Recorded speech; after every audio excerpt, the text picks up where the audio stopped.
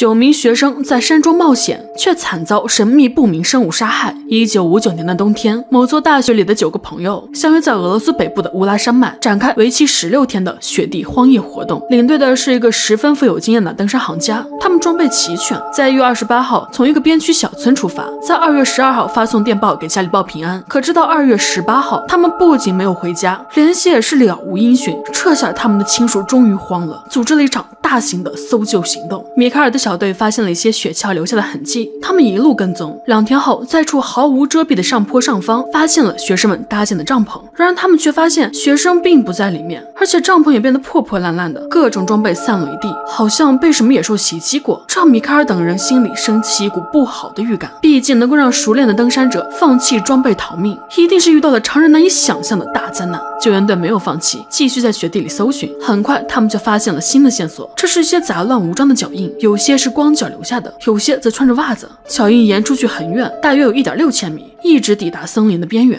在这里，他们发现了一条毛毯。然而，就在搜救队员靠近查看时，却发现里面有一条白色内裤。这时，他们才注意到，原来毛毯下面居然裹着两具尸体，他们并肩躺着，身体早已经被冻僵了。根据后来的调查，这两具尸体正是失踪的学生中的两人。发现尸体后，搜救队员十分不解，为什么他们会在雪地里衣不蔽体？剩下的其他七名学生又在何处？噩耗传回去后，为了尽快找到剩下的七名学生，搜救行动进一步加强，许多志愿者也进入山区帮忙。终于在一天即将夜幕降临的时候，他们发现学生帐篷和森林界限之间，也就是最初发现两具尸体的附近，有什么东西埋在雪下面。众人一起帮忙，他们挖出了领队的尸体，同样已经被冻僵。很快，在山坡上约莫三百米的距离，又发现了一具男尸和女尸。三具尸体排成一列，间隔的距离就好像是他们被身后追赶的生物一一追上并残忍杀害的一样。他们都是经验丰富的登山者，究竟遇到了什么东西，竟然会在这么偏远的地方以这样离奇的方式死亡？一个作家兼调查者亲自来到这里研究这起案件，因为官方最后给出的死亡调查报告十分草率，很多问题都没有解答，让作家十分不满。于是他联合一名求生专家来到现场解密，企图找出解开谜团的关键证据。这是一起离奇的死亡案件，共有九名学生在雪地中被残忍杀害，而死因不明。五十年过去，凶手至今未被发现，甚至无法确定究竟是否是人类所为。经过照片发现，学生搭建的帐篷被完全撕碎，而专家根据撕碎的痕迹推断，帐篷完全是学生们自己撕裂的。他们很可能是迫切的想冲出帐篷逃走，而能让他们做出这样决定的，一定是被逼到了绝境。那么，到底是什么原因让他们做出如此举动呢？专家发现，帐篷的顶端上有一些较小的水平切口，几乎和人的视线等高，这很容易让人想到，这是他们为了观察外面的情况而刻意切出来那么，他们又究竟看到了什么，能将他们吓成这个样子？为了探究真相，他们找到了最初发现尸体的地点。根据当时的调查显示，两个人曾经生过一对篝火，这同样让专家和作者十分不解。如果真的有什么东西在追他们，为什么不在森林里面，而是在外面升起一堆火呢？森林边缘的风会更大，这种火根本无法取暖。两人都是经验丰富的户外高手，专家不认为他们会犯如此低级的错误。专家猜测，可能追杀他们的动物已经先跑进了森林里。可是经过法医的检查，在两人身上没有发现任何咬痕或者抓痕，低温才是造成他们死亡的原因。这不太像是野兽袭击的结果。而在后面发现的三具尸体中，其中一个男尸斯洛伯登的幼犬有明显的伤痕，似乎有什么东西发生过搏斗。斯洛伯登的拳头同样有伤痕。专家猜测，两人可能发生过斗殴。斯洛伯登的头部一侧遭到严重。损伤，而女尸面部同样有血迹，可能在生前都经历过激烈的打斗。经过调查深入，一起意外事件瞬间变成了杀人事件。于是他们请来了重大事件的调查员伊凡诺夫。伊凡诺夫接到消息后，打听到当地有一小支游牧民族在山脉偏远地带狩猎。于是伊凡诺夫怀疑是迪亚特洛夫不小心将小队带到了这支游牧民族的领土里，结果被他们当成敌人攻击，最后死于非命。很快，伊凡诺夫找到了一些证据，比如有传闻说迪亚特洛夫的个人日记里写到了他和游牧民族。发生争执的事，但作家却不这样认为，因为这些游牧民族的生活十分困苦。如果真的是他们杀害了学生的话，那么满地遍及的装备，他们不可能放过。而且这支游牧民族并非是什么残暴的民族，反而十分友善，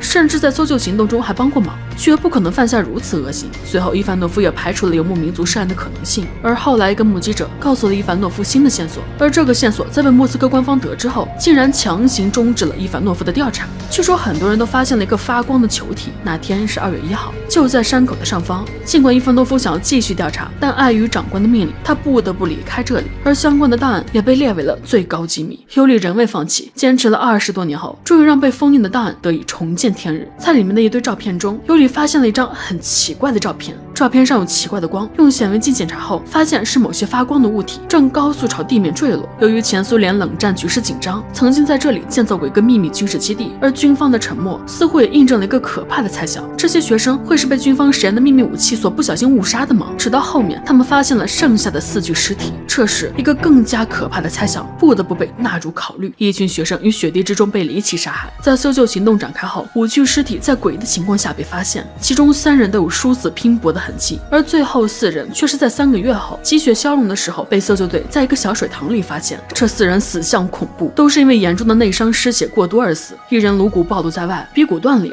有的眼球不见了，还断了五根肋骨；另一人浑身多处严重骨折。最让人感到恐怖的是这个女孩。法医检查后发现，女孩的舌头竟然被人摘了，在胃部发现了很多血迹，这就表示女孩是在生前被活生生拔下舌头的，最后死于剧烈疼痛和失血过多。究竟是什么怪物在力量上能够碾压三个成年战斗民族，又足以灵巧的拔下女孩的舌头？官方对此含糊其辞，只说学生们死于某种未知的力量。五十多年过去，学生的死因仍旧是一个未解之谜。好在尤里在五十年后找到了新的证据，同样是在学生相机里找到了一张照片，上面清晰的显示有一个特别。奇怪的高大黑影出现在雪地深处，当时他所注视的方向正是是学生们所在的营地。这个神秘生物究竟是什么？会是造成这一切的真凶吗？动物学专家看过后表示，这个怪物体格相当健硕，有点像类人猿。它弯腰的姿势意味着它正准备捕食。专家怀疑这张照片的真实程度，便送去给监视侦查员鉴定。通过照片上的阴影和光线的折射，他判断这张照片是真实的。而后在检查遇害学生们的遗物中，发现有一人在日记本中写道：“他们发现了雪人存在的证据。”难道说这个神秘生物是传说中的雪人？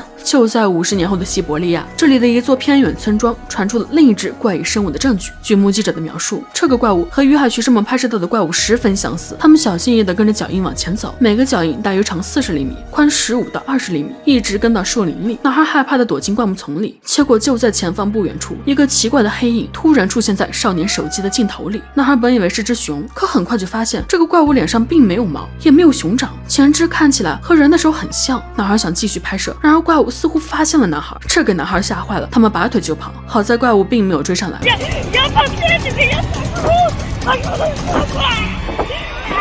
一个动物学家分析后，仍不相信雪人的存在，认为这可能是麋鹿的脚印，因为麋鹿在奔跑时总是前后体落在同一个地方，这就很容易造成大脚印。而布尔采夫博士却不这样认为。当时的天气，地面上的雪很软很干，而脚印始终只有一行，这绝不是麋鹿能够办到的。而且当地的村民也都十分淳朴，每天都为了生活忙碌奔波，不可能做这样的恶作剧。而且视频里的怪物目测有一米八，而且还弯着腰，也根本不像是人假扮的。因此，布尔采夫坚信这就是雪人，还亲自拜访了这座村庄。并在这里发现了一些雪人啃咬过的树木，但这依旧不能成为决定性的证据，因为冬天里其他的生物也会造成这样的齿痕。可是这些树木的齿痕距离地面都有两米左右的高度，显然不是一般动物能够达到的。这样一来，似乎也只有雪人能够解释这个神秘生物的身份。博尔采夫研究了这类生物四十八年，他想起在发现雪人的地点正是一千万年前一种类人猿的发现地，它们很符合雪人的特征，被称之为巨型猿人，能长到三米多高，五百多公斤，强大的咬合力能够轻易咬得动粗壮的树干。可这种生物早就在十万年前就绝种了，那么难道是还有一部分幸存下来而隐匿于乌拉山脉吗？真相直到今天依旧不为人知。但一九七六年，美国加州就曾经捕捉到过类似。似巨型人猿的画面，身高在二点一米左右，浑身是毛，用双腿走路。我们不知道真相如何，但谁也无法完全肯定这些生物不存在。相比较于这个神秘莫测的世界，人类的认知还是太少了。好了，以上就是今天电影的全部内容。不管你来或不来，娜娜每天都会为你守候。